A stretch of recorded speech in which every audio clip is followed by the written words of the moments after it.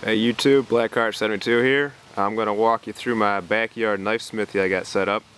Uh, this is my dirt forge, just a hole dug in the ground with some uh, bricks to shore up the walls, keep the dirt from pouring in.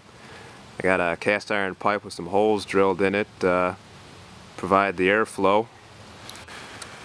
That's connected to a piece of shop vac tubing, which I have hooked up my bellows system, which is a hair dryer.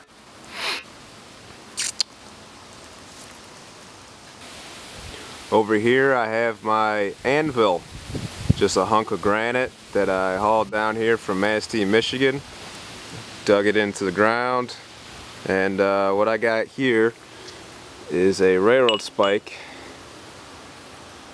from K-Pac, Michigan that I'm going to try and make into a knife. So here goes nothing.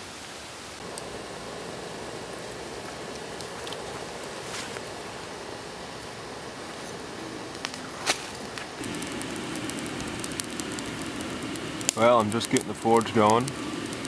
Got some uh, lump charcoal getting hot. Got a lid on it right now to uh, keep the heat in.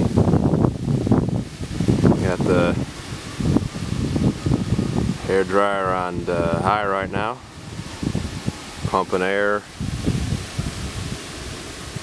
through the pipe. And as you can see, working quite well.